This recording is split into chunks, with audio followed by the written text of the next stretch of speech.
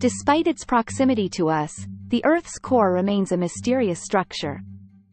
We can categorize it into two parts, the inner core and the outer core. Additionally, it is predominantly composed of iron and is responsible for generating the Earth's magnetic field.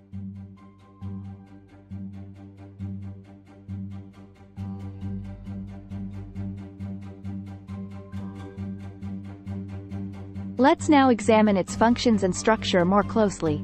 The outer core the Earth's structure can be likened to that of an onion, consisting of four layers, each with a distinct composition and role in the planet's geology.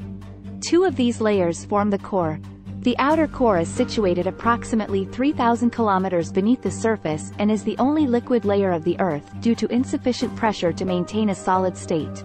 It primarily consists of iron and nickel, with traces of sulfur and oxygen, Furthermore, the temperature inside the outer core reaches exceptionally high levels, up to 6,000 degrees Celsius, 10,832 degrees Fahrenheit.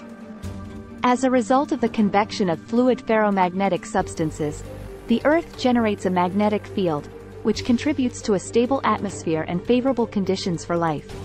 The inner core. The innermost layers of the Earth comprise the inner core, likely a solid sphere with a radius of around 1,200 kilometers, equivalent to 70% of the Moon's radius.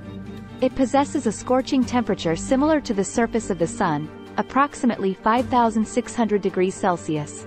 Similar to the outer core, the inner core consists mainly of iron and nickel. Notably, a 2015 study suggested the presence of two layers within the inner core, the collected data indicated that the crystals in the inner layer align in an east-to-west direction, while those in the outer layer align from north to south. This implies a phenomenon that caused the core's orientation to flip, resulting in the crystals in the outer, inner core. However, further research is required to confirm this hypothesis. Major functions. Although much remains unknown about the Earth's core, we can ascertain that its behavior is crucial for sustaining life on our planet.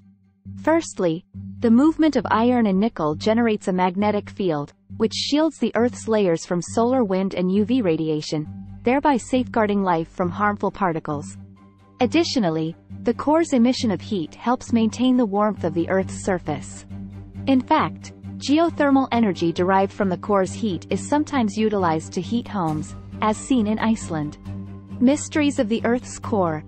The Earth's layers lie just a few kilometers beneath us, yet our knowledge of the planet's interior is more limited compared to our understanding of the Moon. The deepest man-made borehole, the Kola Superdeep Borehole, reaches a mere 12.2 kilometers into the Earth, not even halfway through the lithosphere, the outermost layer.